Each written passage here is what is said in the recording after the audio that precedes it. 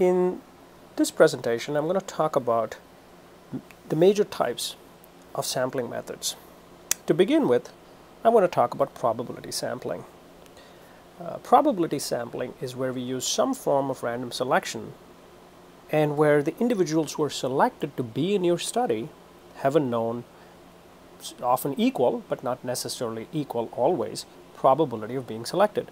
Uh, later on, we'll also talk about non-probability sampling methods, uh, where the selection is not probabilistic. Uh, it is, you know, either systematic or just convenience-based, but it's not necessarily random. So, so, before we talk about different types of probability sampling, some quick definitions. Um, we use a capital N to signify the number of cases in the sampling frame. Uh, we discussed what is a sampling frame when we talked about the different groups in a study we use a small lowercase n to signify the number of cases that are in your sample. The combination formula, again this is simple uh, probability statistics, tells us the number of combinations of the sample that we can select from a sampling frame. Okay. Uh, finally, there's a sampling fraction. The sampling fraction is quite simply uh, the number of cases in your sample divided by the number of cases in your sampling frame. All right.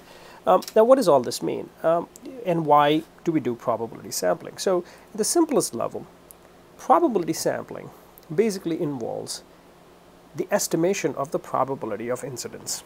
Right at the core of probability sampling is our, our, our need to understand or to be able to estimate how probable it was that somebody was selected in our study from the population. If we're not able to estimate that, it's very hard to see or to be able to estimate the precision of our study. So let me give you an example. Uh, let's say all of us were in COM 205 in a classroom and let's say you know we had 100 students. Now let's say 80 students have already showed up, 20 are late. The doors are closed and I'm trying to guess if the next student who's going to walk in is going to be male or female. Now there's two ways I can guess. One is I can just guess and be wrong, or I can guess by looking to see how many individuals are there in the class in total, how many males and females, and then based on the ratio, make what I call what we would call an informed guess. So if we had a 80-20 ratio of females to male, I can estimate the probability with which the next individual walking in is likely to be female if I could not come up with that estimate, the reason I couldn't come up with that estimate is if I did not know what the sampling frame, in this case, what the classroom composition is to begin with, then there's no way for me to estimate with precision who's going to walk in next.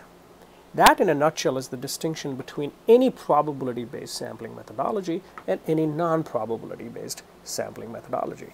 For a probability-based sampling, we need to be able to estimate the likelihood of incidence of a particular individual or characteristic in our sample. And in order to be able to do that, we need to be able to have the denominator of that equation, which is your sampling frame. Um, and so um, we have different sampling methodologies based on how we make these estimations, right? So we are now going to talk about different probability sampling techniques. The starting point to understanding the various techniques is the sampling fraction. So the sampling fraction quite simply is the size of the sample or the number of cases that you need to draw from your sampling frame.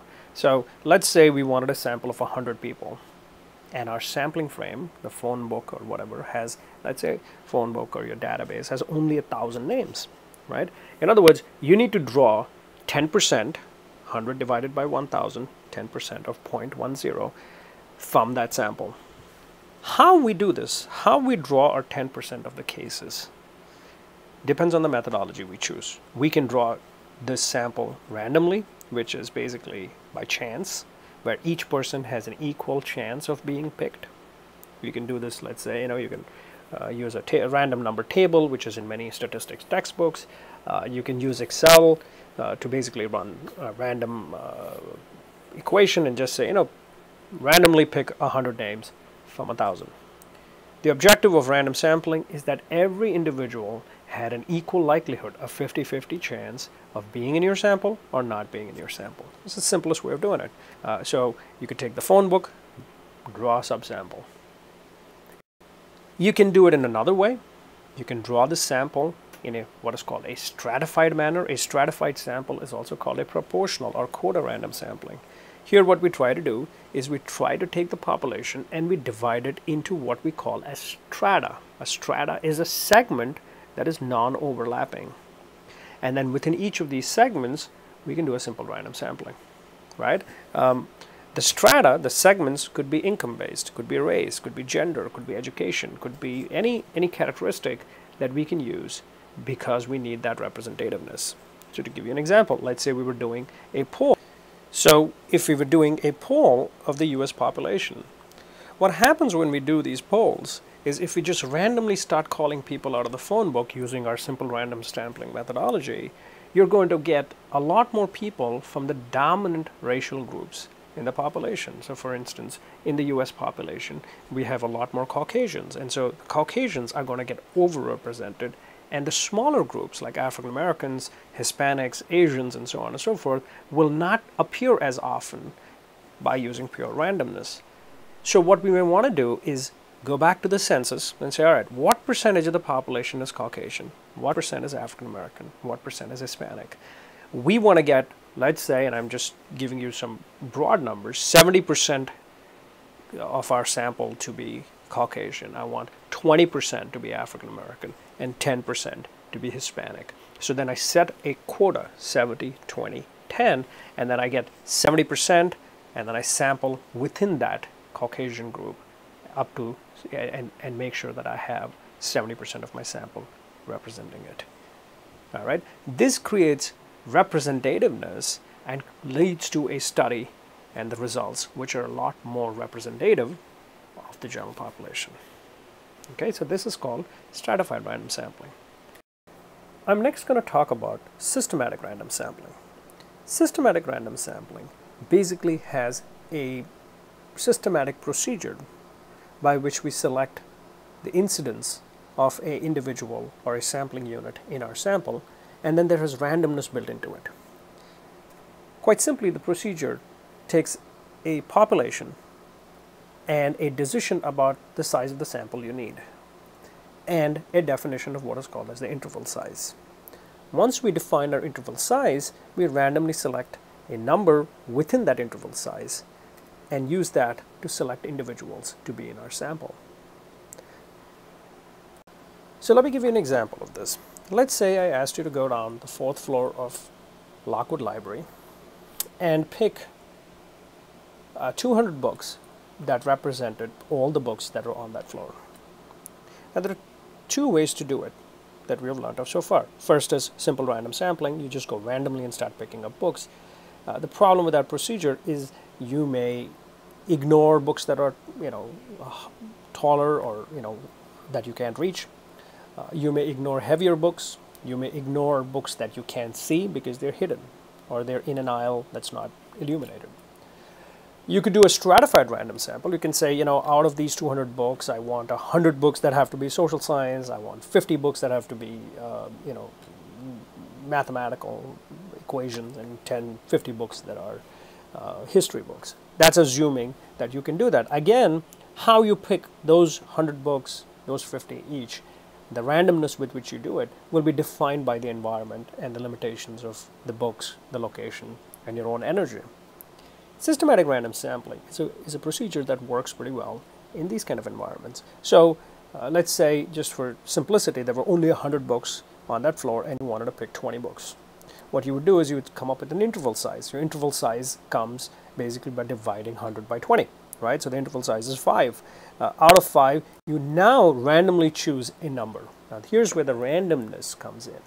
And the random number I choose in this example is 4. I go to every fourth book um, then I leave another four books, get the next fourth, or every fifth book.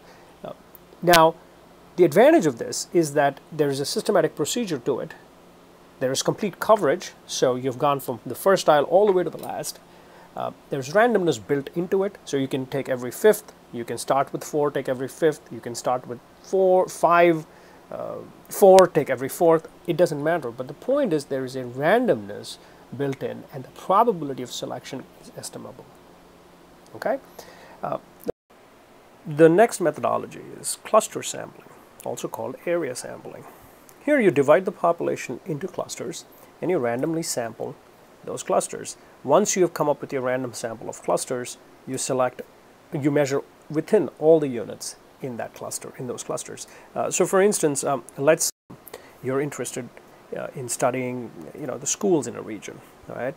Uh, you have uh, the schools in, let's say, an entire city.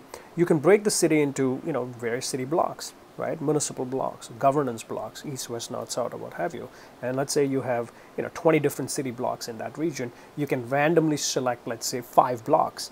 And within those five blocks, you go to every school and talk to every student within those schools um, do a survey or what have you within those schools. So this is an example of cluster sampling. And can also be done in multiple stages, also called what is sometimes called multi-stage sampling, where what you can do is you can take the cluster sampling methodology and you can combine it with single stage methods.